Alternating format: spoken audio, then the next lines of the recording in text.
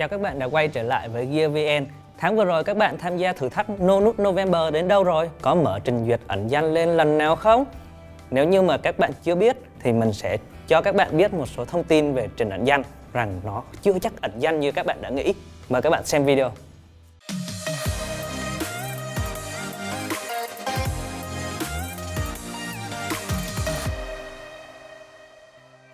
Về cơ bản, cái trình ẩn danh nó có tính năng như thế nào? Các bạn chỉ cần mở lên là nó sẽ ghi đầy đủ cho các bạn hết.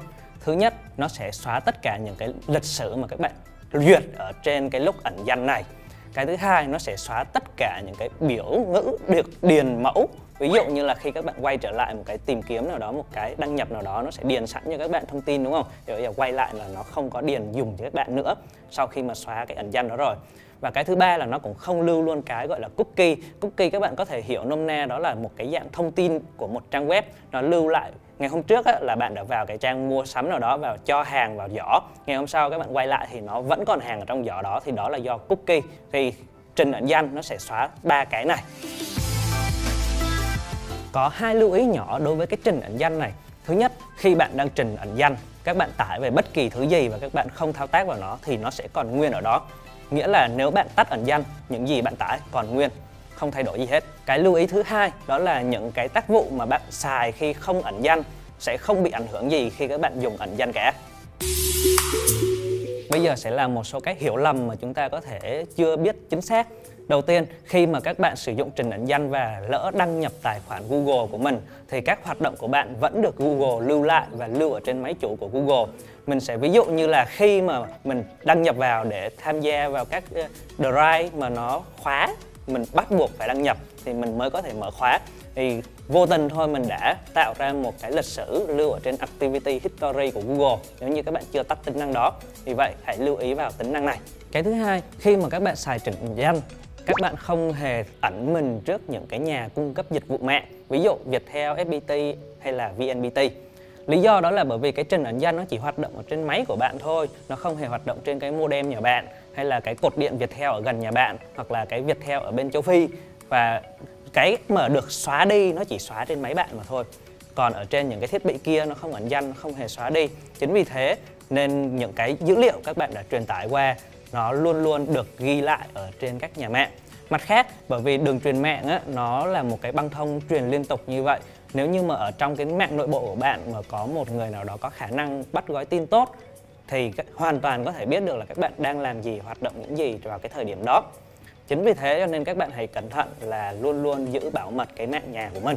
Cái thứ ba mình muốn nói tới đó là dùng ẩn danh á, thì sẽ không thể tránh được cái virus hoặc là mã độc. Lý do đại đa số những virus mã độc bây giờ nó sẽ phải tải về rồi mới chạy trên máy của bạn. Đại đa số nha, vẫn có một số ít là nó bá đạo hơn.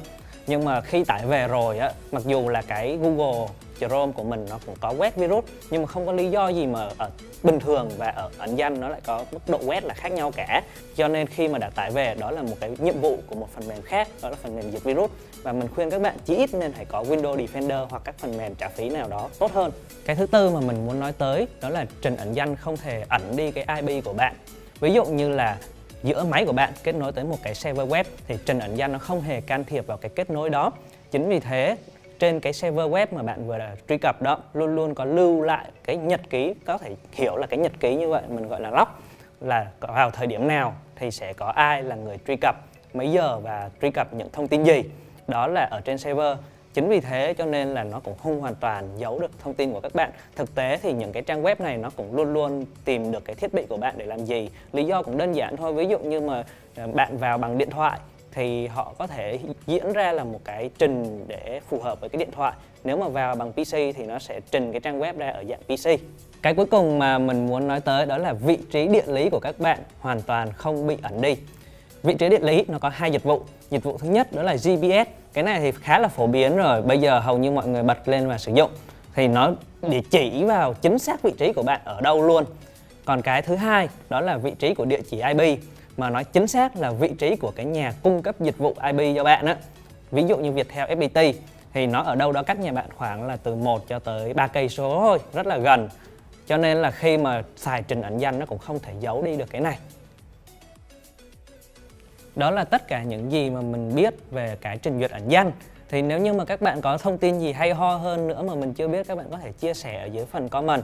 Và mình chúc các bạn có một mùa thử thách No Nut November thật là vui vẻ và sẵn sàng bước tới tháng 12 tới. Cảm ơn các bạn đã theo dõi video này của GearVN. Nếu các bạn thấy hay, hãy like và share cho mình. Nếu như các bạn lần đầu tới với kênh của GearVN, hãy cho chúng mình một subscribe để kênh ngày một phát triển hơn nhé.